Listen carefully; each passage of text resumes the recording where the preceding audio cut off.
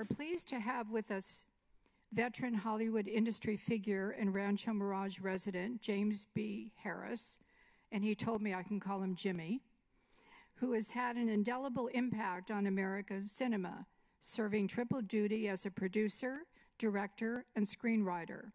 He partnered with legendary director Stanley Kubrick to produce several provocative classics, including The Killing, which we saw previously, that was our first screening, Paths of Glory, and Lolita, before moving on to produce and direct The Bedford Incident, which will be our next film you'll be able to see, along with a number of other feature films, working with the likes of Sidney Poitier, Richard Pryor, James Woods, Wesley Snipes, and Dennis Hopper. To introduce today's film and guide us through the rest of the afternoon's program is Rancho Mirage own Steven C. Smith. Steven is not only one of our favorite presenters here at the library, he is also an award-winning producer, filmmaker, author, and historian. Following the film, Steven will moderate a discussion and Q&A with Mr. Harris. Please join me in welcoming Steven C. Smith and Jimmy Harris. Thank you.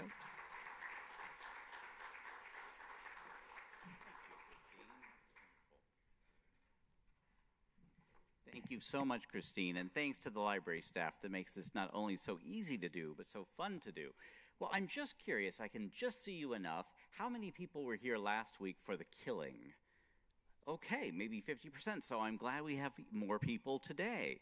Um, well, I'm only going to speak for about five minutes at most or so, but I did want to give just a little backstory on the film that you're going to see today. Uh, James B. Harris, who I think it's, I, I hope, Jimmy, you don't mind my revealing, 95 years young, will be talking with us, as Christine mentioned, after the film. So do stay for that and do think of some questions to ask him because he will no doubt have fascinating answers. But first, a recap of where his story ended uh, last week. Harris and his new partner in 1956, director Stanley Kubrick, made an extraordinary crime picture called The Killing for the low, low cost of $330,000, craft services money today. Uh, partly because they were unknowns, partly because the film was very unusual. It had an unusual nonlinear style of storytelling. Uh, unfortunately, The Killing was not a financial success, but it did get several positive reviews. And the boldness of its storytelling style, the striking visuals, caught the attention of some important people in Hollywood. Most importantly, this one, who I'm sure you will recognize, Kirk Douglas. In 1956, Kirk Douglas was one of the biggest box office stars in the world. He had just played Vincent van Gogh in the biopic Lust for Life, and he wasn't afraid to take chances, balancing commercial films with more edgy ones. And Kirk Douglas was interested in working with James B. Harris and Stanley Kubrick, and the result is the movie that you are about to see, Paths of Glory. It's based on a novel of the same name by Humphrey Cobb, a novel based on a true historical incident in World War I. And I don't want to give away the story, so I will just say that it shows very powerfully the injustices that can occur amid the fog of war.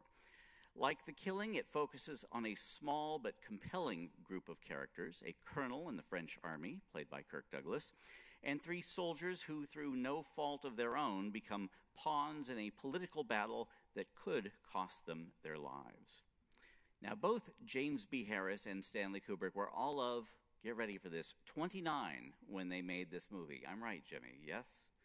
29 years old, and working with Kirk Douglas, who was both the star and also a co producer on this. And Kirk was not the easiest person to, to, work with. You'll hear that from many people. I mean, many good qualities, but sometimes a challenge, and Jimmy will tell us more about that.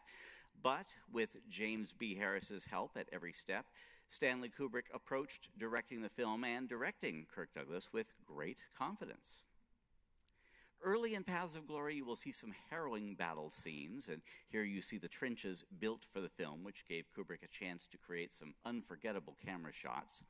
Throughout his career, Kubrick was fascinated by the subject of war, as we see in later films of his, like Doctor Strangelove and Full Metal Jacket, as, uh, as, and it's a subject also of interest to Jimmy, as we will see in the film also next week. And Kubrick's fascination with the toll that war can take on men and the political stratagems played out by those in charge, that really starts for both men in Paths of Glory. Now, this was a very tight shoot and a cold one, as you can see from the way that Stanley Kubrick is bundled up in the photo at left. And remarkably, even though the movie feels very large in scope, it is less than an hour and a half long. Its power, I think, is due to the story, the performances, the direction, and the quality of its production. It was shot in Bavaria, Germany, and the majority of the scenes were filmed here at the Schleißheim Palace near Munich. And the way that Harris and Kubrick used this location is, I think, extraordinary. With its tiled floor, it's almost as if the location is a giant chessboard on which a very dangerous game is being played. There was a great deal of rewriting done on the film, uh, not least of which involved the ending, and Jimmy will tell us more about that after the movie. Paths of Glory opened on December 20th, 1957. And even with Kirk Douglas starring, this was a challenging story for a general audience. And the film, which cost about a million dollars, was not a great financial success. It also angered French military authorities so much that the movie was banned in France until 1975. But Paths of Glory did receive many rave reviews, and over the next seven decades, it's developed a deserved reputation as a classic. Jimmy will tell us much more about the making of the film after we see it, but I'll leave you with something to watch for. Paths of Glory has an unusual and memorable final scene, and it features this woman. Who is she? Well, we will find out after the movie. Here from director Stanley Kubrick and producer James B. Harris is the film that Kirk Douglas once called the summit of my career, Paths of Glory. Thank you very much.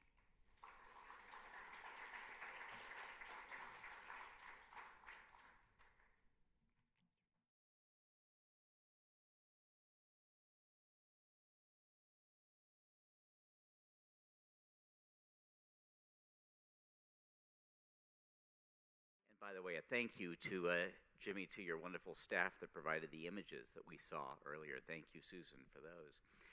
Well, uh, it's, it's difficult to add words when that ending is so eloquent without words, but I have to say that uh, that film sadly uh, does not go out of, of, style in any way. It, it seems as, as relevant as ever, and it's a, it's a powerful, moving film, and much like the one we watched last week, The Killing. I always hope that it's going to end differently, but uh, and and we'll get to that ending in a moment. But first, I had raised a question: Who who is the actress that we see at the end of the film? And Jimmy, who was that? Uh, that's uh, uh Susanne Christian. Her name was at that time, but her name now is is, is uh, Christiana Kubrick. Mrs. Stanley Kubrick, yes. They married after this film and remained together for 40 plus years, and yeah. she's happily still with us. Yeah, well, there's a story with that that I, I thought that uh, I have to remember how, how Stanley uh, presented the idea to me. Uh, that ending was not in the script originally, and uh, when we got over to Germany and we're preparing to get started on the film, Stanley said to me he had an idea for an ending of the picture that was not in the script. And he explained to me uh, what you what you saw on the screen that the German girl should be presented to these troops as and, and have to sing a song in, in order to entertain them. Uh, I I said, and, and uh, who's going to who's going to sing the song? And he said, well, I met this girl, and, and I said, oh boy, you know. I, I couldn't believe Stanley would do a thing like that, you know, because he's so dedicated, such a such a dedicated filmmaker that he'd never, never offer, you know, use the film, you know, to, to hit on a girl. But uh, so I said, Stanley, you, you, you got to be kidding with this. I mean, the script is fine as it is. It doesn't need an ending like that. Uh, you can see how, how smart I was at that time. It just it's one of the best endings that you could possibly put on this on this film. but, uh, but, but being partners, and, and you know, he always took seriously what, what I suggest. He said, listen, let's shoot the, the, the scene, and if you don't like it, we won't use it.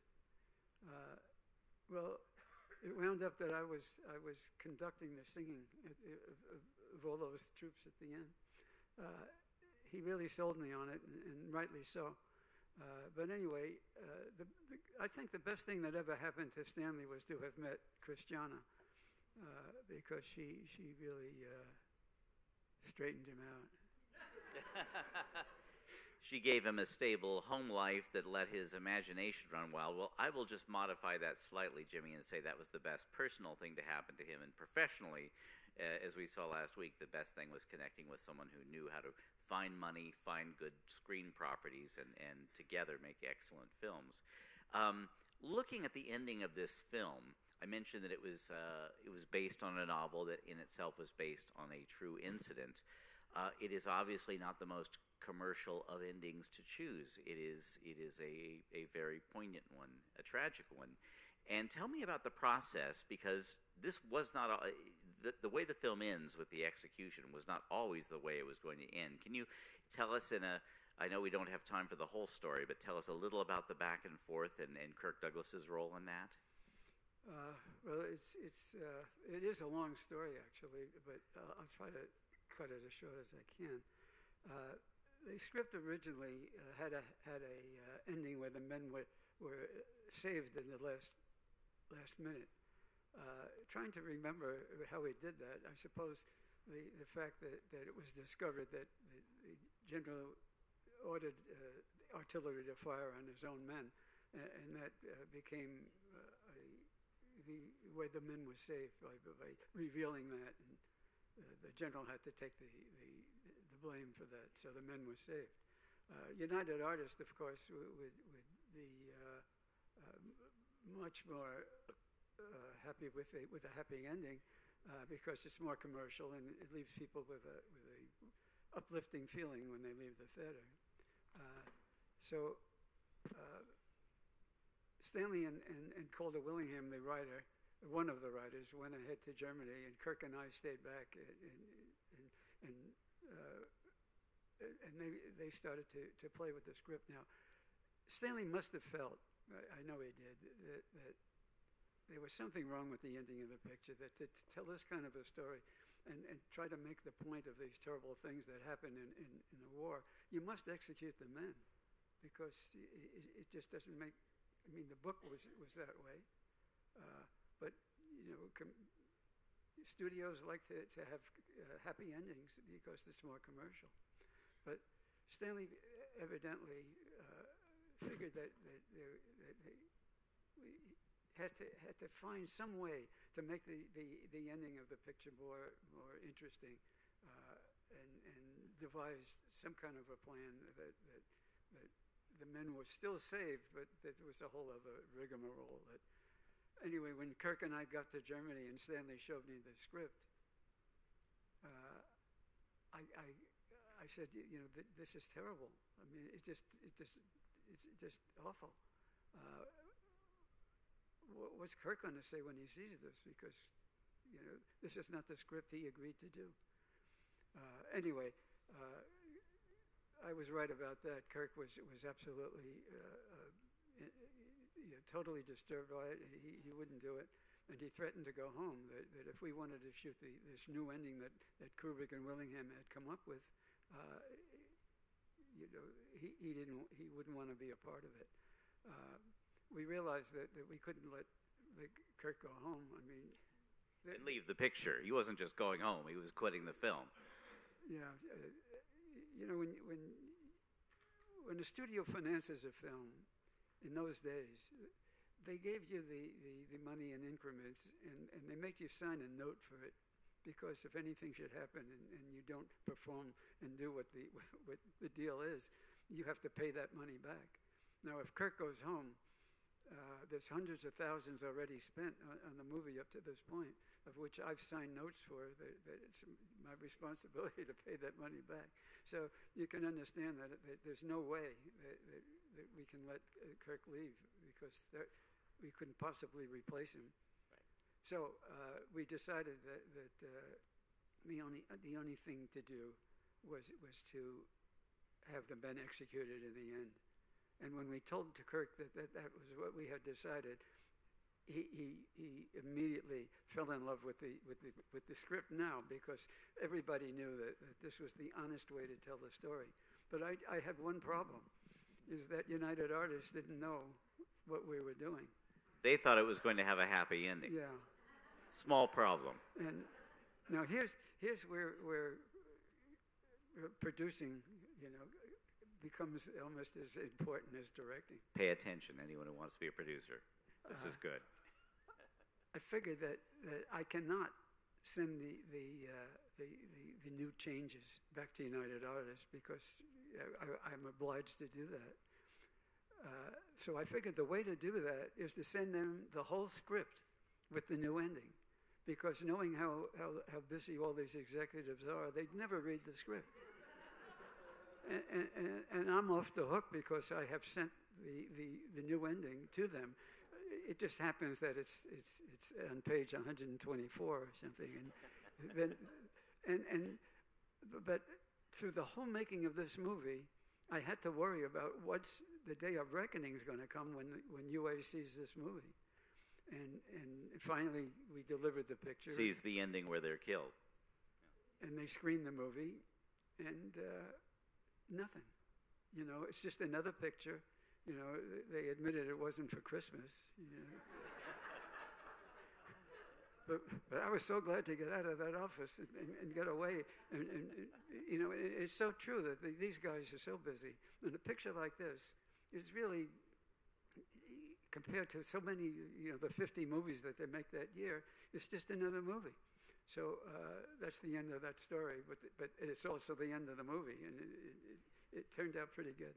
Yes, and uh, I'm sure they felt that as long as Kirk Douglas was happy, which he was, mm-hmm. uh, very happy, then they would be happy. And speaking of Kirk, you had just made one real professional film before this, The Killing. And that was made up, uh, the cast consisted of terrific actors, but really character actors. Even Sterling Hayden was a, you know, not a big, big movie star. Now you're working with one of the biggest movie stars on the planet, Kirk Douglas, and his production company is, is the name we see at the beginning of the film. So, what was it like working with him? Uh, well, you, you, have to realize that, that, that, that Kirk being attached to this movie made it all possible because you can't raise the money to make the movie uh, in most cases without a major star. Uh, and so, uh, but the thing is that Kirk let you know it. I mean, we had only done one film together, Stanley and I. We were only 29 years old. Kirk was 40 at the time. He, he, he did multiple films. He was a major movie star. And uh, uh, he, he, he, he but he, he's, he, he's, he's a dedicated artist as well. And, and he did appreciate that, that we were there trying to make the best film possible, uh, that we're dealing with basically a new director. Uh, and uh, the proof of that, I mean, he was so impressed with Stanley that he eventually got, we, we made a deal for Stanley to direct Spartacus, which, which was Kirk's movie. One thing I want to straighten out, though, that, that in order to get Kirk in the movie, uh, we had to negotiate a, a deal that, that was really unfair. I mean, Kirk had an agent that was a killer. And, and, and we had to sign a deal to, to, to work for his company, which was called Bryna. Uh, we had to make five more movies with, with him. Now, Kirk was, was, was strictly an employee on this movie. He did not co-produce it. He did not. He had nothing to do with the with the, the production of this movie. Part of the deal was we had to give his company a credit, and, and you noticed when the picture opened, it said you know Bryna Productions. Uh, so uh, I've had to live with that, you know. So how did you get out of having to make those five movies with him? Uh, it's, it's, it's too long a story. To, to, to, well, maybe a, a, short version is that Stanley did go on to direct Spartacus, which Kirk Douglas starred in, and uh, they didn't exactly get along wonderfully on that one. And uh, that probably contributed to it. But that film turned out to be an enormous success. And meantime, you were developing the next Harris Kubrick film, Lolita, which proved to be your first Oscar nominated hit and uh, got a lot of attention. And so, really, many good things came out of the making of Paths of Glory, even though, like The Killing, it was not fully appreciated in its time. I will just say, does it, is anyone out there a fan of the HBO series The Wire that was on a few years ago? The wonderful, yes, the, the creator and producer of it, David Simon, said that in creating that series, he studied Paths of Glory because he thought it was such a brilliant film about structure and the interaction of different levels, strata of organization and management and what can go wrong. And uh, so your film has had a tremendous influence on filmmakers for, you know, over six decades now. How does that feel? Oh, it feels great. but uh, you know, when you make a movie uh, and you're uh, and you have a, a, screenplay that you're working with, you have a tight schedule, you have a tight budget. Uh, a lot of things can go wrong.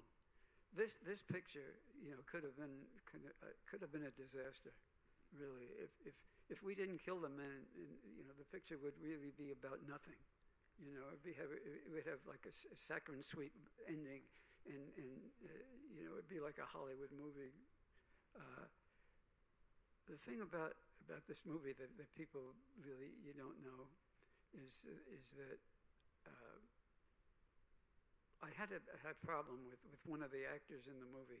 He's, he's, he's really terrific on the screen, and, his name is Timothy Carey. Uh, and you'll notice he was the one that, that, that is executed in the end, and he's crying and, and doing all. You may remember him also from The Killing as the shooter of the horse. Uh, and uh, yes.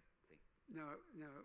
Tim is, is a, is a, scene stealer. You know, he, he, he, he has to be really controlled. You know, that, uh, and he uh, he staged a, a fake kidnapping of himself. Uh, I got a call at six o'clock in the morning from the police saying that they found an actor from our film that was it was tied up in, in, in, in a street somewhere, and he claimed he had been kidnapped somewhere in Germany oh, while yeah. you're making this. yeah, and and uh, so I, I know that, that, that, we didn't stage it as a publicity stunt. That, that, Tim had done this himself to try to get publicity for himself, and. Uh, but we have a shooting schedule, and, and Tim is needed. And we're at the police station, and, and, the studio is 45 minutes away, and everybody's waiting. Uh, so the police allowed us to, to let Tim go back to the to the uh, to the studio, but he had to sign a, uh, a, report actually, and and and and he started to to uh, dictate all kinds of changes in the report, and he wouldn't sign it, and everybody's waiting. And you, you can't let people like Adolphe Menjou and George Macready and Kirk and those, you know, stand around waiting for, for, for this guy. Uh, and I told Tim that, that, if he doesn't sign this thing and, and, get through with it and get back to work, um, I'm going to have to fire him. And he's uh, a key player in the film, obviously. He's one of the three men.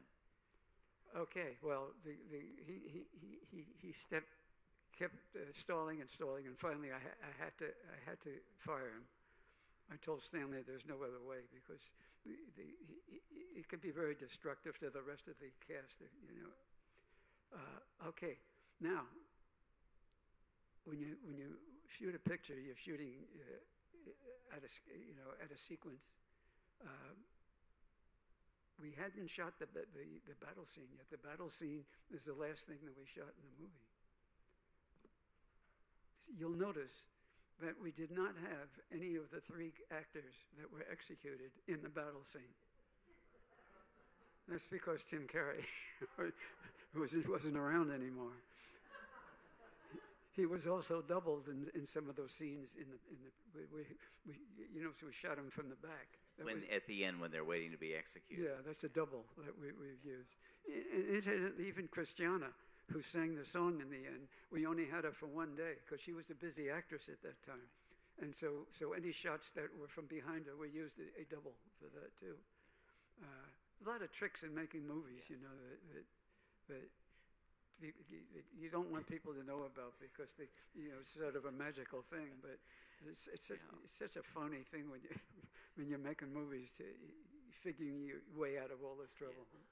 Well, that was a very bold move, and it sort of has a. I can't help but think of a parallel with the film where you're in this tricky situation of what you have to do with uh, Timothy Carey. Now, that said, he was an actor who is very distinctive, memorable. He, there's a, a Tim Carey following all these decades later, and for good reason. He's he, you can't help but watch him. And Jimmy, you hired him again later on another movie. What happened? Why?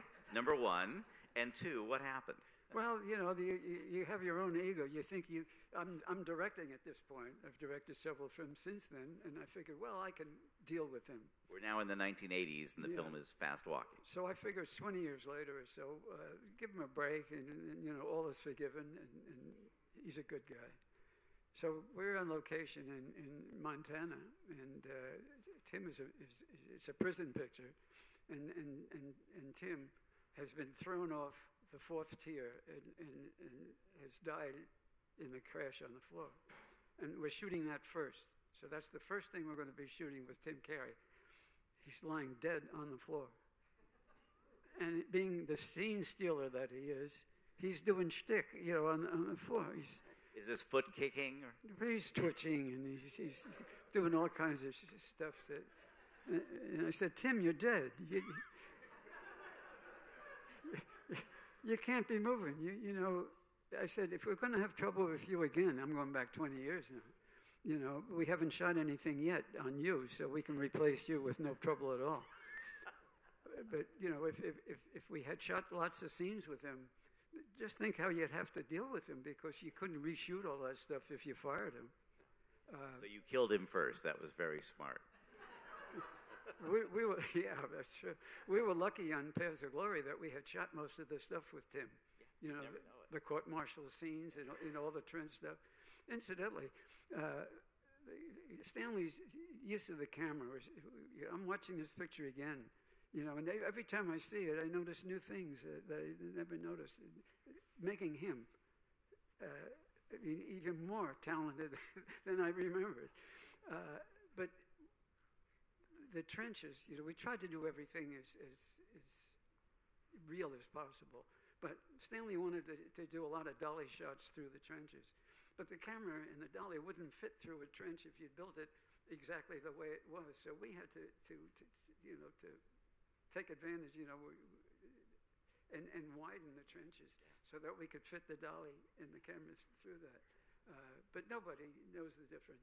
No. Uh, And those are some of the most iconic shots of the film, and I think really foreshadow something we'll see in a lot of Kubrick films, a kind of sense of symmetry and camera movement, and uh, that's uh, they're so powerful even before the battle begins. You know, I'm watching that, that the battle scene. Uh, you know, Kirk had to, to to go through that thing. You know, you think just to think what take two is like. You know, How many takes? I mean, did you do on most of those action shots? Well, uh, you know, Stanley likes to do lots of takes to make sure he's So got I heard. everything that he wants. yeah, and uh, but in those days we had a schedule and a budget, so you couldn't you couldn't do all of that. But but, but after Kirk had run through that whole thing, you know, we said, well, let's let's go again, and he said, this is it. You know, I'm, I'm going to do it once more. And so that's when the big star tells you, and, and there's nothing you can do about it because he he just was not going to do it more than twice. And you know, maybe if if if, if it was a Kubrick of today, or, or when Kubrick became a, an icon, right in the 80s and 90s. yeah, the, the actors would do it multiple times because it's Kubrick. But in those days, we were just two kids that, that uh, we were lucky to have Kirk in the movie. so, um, but anyway, uh, the, the, the oh, another thing is is that it's freezing cold out there. Uh, you know, you notice some of the stills that you had there were bundled up. And, and the night of the patrol, uh, there was, there, I just, you, know, I just want to say that, that, you know, people think of Stanley, you know, as this kind of, of uh, you know, genius that, that, you know, is so dedicated to film that he would never do anything that, that is, is uh, that, that gets away from, from his dedication. But there were certain things in that patrol scene, you know, when Wayne Morris throws the grenade and kills. Kills one of it, his own men, yes. Uh, we were, we were uh, shooting it at night because that was a night, shot, a night scene. And, and it was freezing cold. We were drinking tea with the rum in it and tried to keep warm. And we started to look at some of the stuff that still had to be done in that uh, patrol scene. And Stanley, and Stanley said, uh, "You know, it's pretty cold out there." Uh, and we started tearing the pages out. Well, you tore the right pages out because this movie has such a sense of forward momentum. And, you know, given that it's partly a courtroom movie, those are great, but they can get talky. And this movie, for me, just moves along to the end. It has a great uh, narrative momentum, which I think is true of all the movies you've done, Jimmy, both with Kubrick and on your own. Yeah, it. it uh, I miss Stanley a lot. Uh, we, we were more than just partners. I mean, we were buddies and, and we hung out together. Uh, but I had a desire. I mean, When you hang around a guy like that, you, you, you know, I started as a producer, but you know, when you watch him and you think, gee, that's pretty easy. I think I could do that. You know, yeah, it, it, it, turns out it's not that easy, but uh, I, uh, I forgot what I was going to say. Well, I was going to say that's a perfect segue to say, please come back on Monday. Don't leave yet. We have the Q and A, but do come back on Monday because you will see Jimmy's first film as a director, The Bedford Incident, with oh, let's see, Richard Widmark, Sidney Poitier, Martin Balsam, Donald Sutherland. Great cast, uh, a, a really powerful film and we'll see what uh, Jimmy learns sitting uh, next and moving and walking around briskly with Stanley on these films. But may I suggest, Jimmy, that we open it up to some questions? And Absolutely. You, can, you yeah. can continue to share your memories as we go along. But I'm, I'm just going to guess there might be some questions out there. So would you please raise your hands? Christine, yes. So that? I'll repeat it.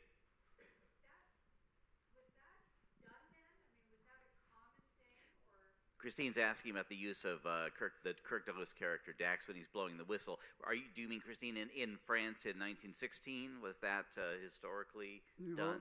Well, well, I wasn't there in 1916. Missed so it by that too, much. I don't know too much about the whistle. You know, forget the whistle. That's that's. it certainly is a dramatic thing to kind of keep your focus on where he is and is kind of a rallying Hmm. cry, right? Actually, actually, I found it kind of annoying listening to it. Just now, when we were watching the film, I wish we had, you know, not used it so much. But uh, the the um, what, what, was I going to say? You know, when you get this age, you can't even remember what, what, certain things. I, I can remember more about the picture than I can about the questions right now. well, I think we can say that uh, I, I, know why you. I can guess why you singled that out because it's such a shrill, kind of striking Oh. moment. And I, I'm going to guess, as no military historian, that it would make sense in a battle that the highest frequency, if you're trying to, you know, reach your men, it would make sense that a whistle would be used, and it, as a dram- dramatic device, purely on a film soundtrack to be heard amid all the mortar shells and yelling and all of that, it, it is, uh, it's a, it's an effective choice. I know what I just remembered what I wanted to say. I was just vamping for you. I don't know what you people think about when you're dealing with a story that takes place in a foreign country with all the, the characters in the piece are foreign, are French.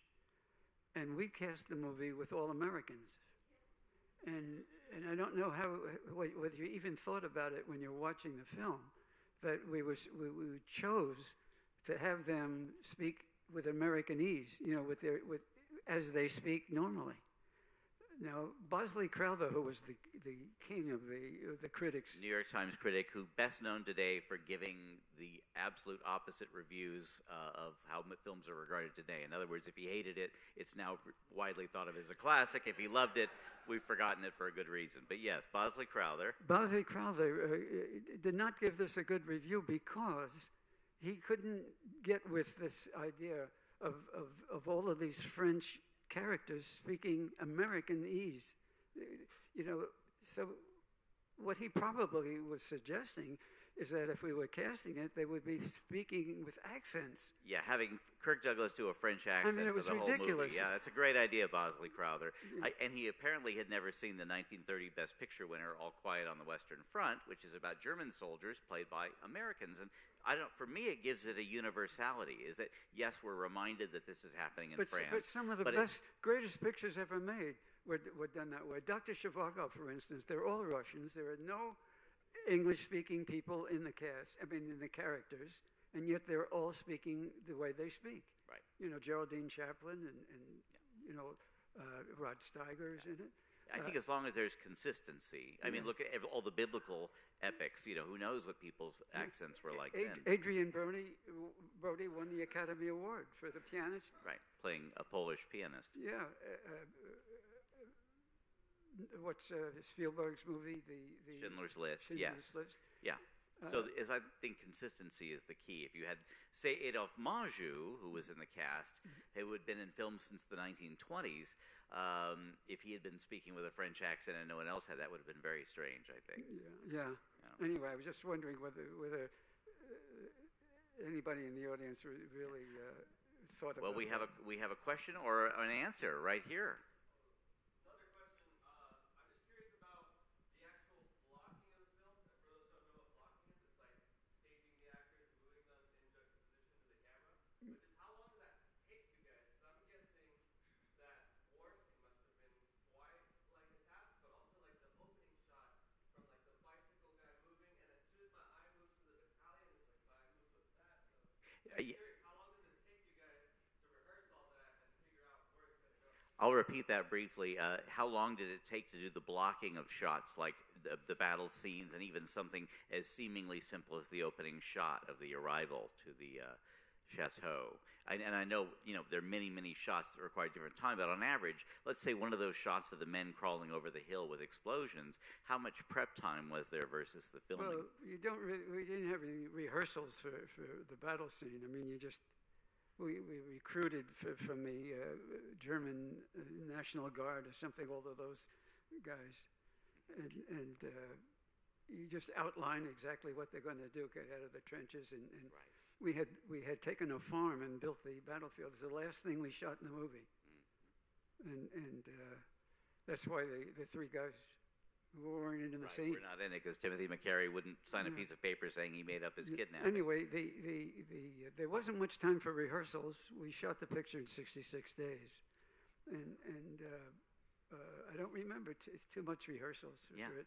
You know, the, they, these are all trained actors. All Yeah. the, the, the, Clearly except, we're- except a couple of them were, were uh, we, we found over there. Mm-hmm. You know, uh, uh, the, the, uh, the, the captain that was in charge of the artillery, he was a local, uh, you know, uh, uh, U.S. Army. We found him. We had to find people who spoke English. Right. And he, I could tell that he, he sounded like an amateur to me. Or sounded like a real person, if depending on Sound, how you yeah, look at it, well, yeah. you know, sounded like an amateur. Thank you. Thanks for coming back. We've got one in the back here. Yes, uh, back here. So the explosions during the battle scenes were those in real time? I'm sure there weren't a lot of special effects in the movie. no, the they were real- Real, time. Done in Were real they? time. Yeah. So there must have been rehearsal of that for. you know, there for- was no CGI in those days. There was no. So I've heard. Yes. Yeah, and, and How how do you do that though when you're on a tight schedule to ensure that it all goes well and there are those explosions going off around the men?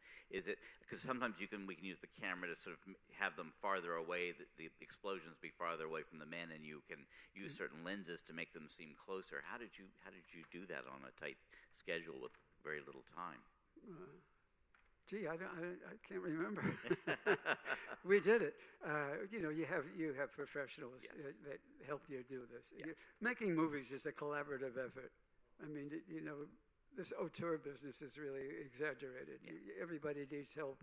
You know, that's you, you pay them and, and you expect them to, to, to you know the cameraman has ideas. Yeah. They're all they they're all Yeah. helpful. You have special effects people Yes. who know how to plant those explosions. You, you know, you, they're marked so you so the actors or the or the stunt people stay away from them. And, and uh, yeah, when you when you're having anything that's dangerous, you use stunt people who are professionals. Uh, you, you don't subject regular actors to, to those things. No, no. So budget for special effects not done live on the set zero. Amazing. Thank you. And I believe there's a question here in the front. Yes. Was there a Stanley Kubrick cameo in the film? I was out in the battlefield with an Eyemo camera Mm. shooting some of the shots. Really? You were shooting some of the shots because tell us a little about your time in the army and what you learned about shooting then. Well, as I said last week, I did. A, I was in the Korean War, and, and I did a lot of fighting in the Korean War. I was really fought as hard as anybody could fight, but they took me anyway. but, And they liked you enough to have you photograph the atomic bomb. yeah, but seriously, folks, uh, uh, But you really did pho- photograph an atomic. So you had you had military experience. Did that influence the way you made this film, which film? Paths of Glory? You're not going to get out of talking about this movie. No, no, no. It, had, it had no experience. Uh, no. And it's interesting that Kubrick, who didn't have war service, was sort of obsessed with it. He wanted to make a film about Napoleon, who was the subject of an upcoming Ridley Scott film. And uh, of course, he made several war related films after that. Yeah, you know, I'm, the next picture we're going to see next Monday is the Bedford incident, which which takes place on a destroyer. Well, I was in the Army, not the Navy. I didn't know the first thing about uh, the Navy or, or the ships, but you get technical advisors. Right. You uh, you learn, you know, and, and uh, nobody knows the difference. Right, right. Well, we'll be talking about that one next week. Yes, sir. couldn't help but think philosophically that the Dreyfus affair is like a cloud Yes. over this whole incident. Yeah. And Dreyfus was still an officer during the First World War Yeah. after he was reinstated, but the whole, really sort of the demise of Great Britain and France being these dominant colonial powers. I mean, this is really, it really sort of marches right in there. Yes, the gentleman was referencing another real life incident that brought a great deal of discredit to France uh, in the late 19th century, the Dreyfus Affair, when a Jewish officer was uh, prosecuted and, and jailed i- i- for something he didn't do. And the novelist Emile Zola was among those who championed the Dreyfus Affair, as it was known, and, his and the exoneration eventually of Dreyfus.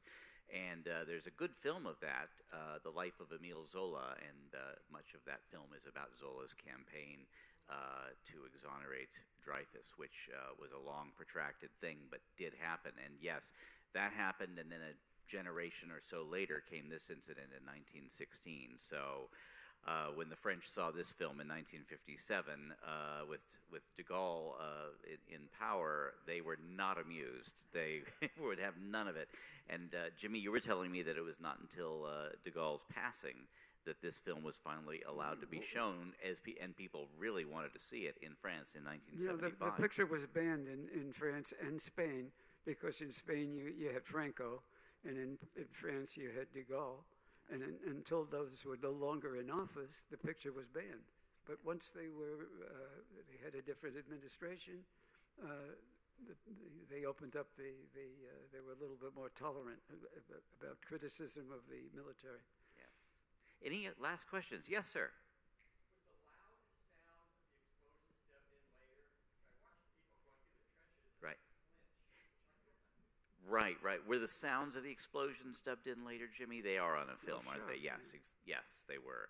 Yeah, it, the same with dancing. When you look at people dancing in a film, uh, I used to, you know, go on a lot of sets and shoot behind the scenes footage as a producer. Still do sometimes, but it's fun to watch them do a scene that involves people dancing to music or all of that because there's no music playing. There's something establishing a beat, but in order to have the dialogue play, so that you know, in that waltzing scene, they can walk over to Adolphe Menjou and say, "You're needed," and he goes out. Uh, everyone is just waltzing silently. It's a little strange to see, and uh, same with uh, with battle scenes. That when you know to record the dialogue cleanly, even though you're probably going to loop a lot of it later, post record it. Yeah, you you don't have sounds like that on the set. Thank you for asking. Yes, sir, in the back.